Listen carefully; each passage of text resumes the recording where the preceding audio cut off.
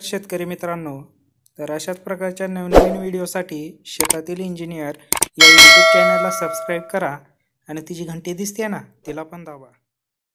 तर मित्रांनो चला आता धन्याचे भाव पाहूया. तर हे भाव आहेत ते सोळा तारखेचे. तर पुणे येथे चार क्विंटल आवक झालेली. जास्तीत जास्त हा अकरा पाचशे कमीत कमी सात हजार रुपये दर लागलेला आहे. तर मुंबई येथे लोकल धन्याची आवक ही नऊशे एकोणपन्नास क्विंटल झालेली. जास्तीत जास्त पंधरा हजार तर कमीत कमी सहा हजार रुपये दर लागलेला आहे. नागपूर येथे लोकल धन्याची आवक ही तीन क्विंटल झालेली तर तिथे जास्तीत जास्त सहा हजार तर कमीत कमी पाच हजार आठशे असा दर लागलेला आहे. तर जास्तीत जास्त हा पंधरा हजार रुपये प्रति क्विंटल असा दर लागलेला आहे मुंबई येथे. तर मित्रांनो त्यानंतर पंधरा तारखेचे दर. जळगाव येथे जंबूसार धन्याची आवक ही दोन क्विंटल झालेली जास्तीत जास्त सात आठशे असा दर लागलेला आहे.